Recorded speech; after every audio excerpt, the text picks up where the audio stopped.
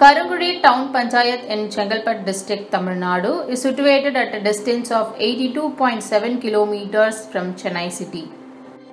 Karunguzhi was identified by the government of Tamil Nadu to demonstrate septage management as a part of cluster approach to treat fecal sludge. A pilot fecal sludge treatment plant constructed in Karunguzhi to serve the needs of Karunguzhi and the adjacent municipality of Maduranthagam. The fecal sludge treatment plant is built at a cost of rupees 4.93 crore in an area of 2 acres.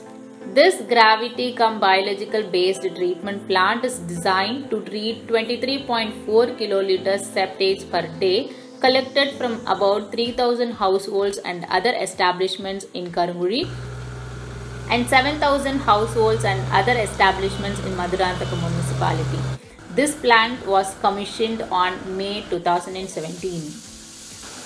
The fecal sludge collected from septic tanks and pits is brought to the FSTP by desludging operators and emptied into the sludge drying bed through the inlet chambers. Screens are used in the inlet chamber to remove the grit and coarse particles. The sludge drying beds are filled with filter media where the sludge is dewatered and collected filtrate is then let into the horizontal plant gravel filter for further treatment. The bottom portion of the horizontal plant gravel filter is filled with graded gravel and pebbles and plants such as Canna indica and reeds are planted over the filtered media.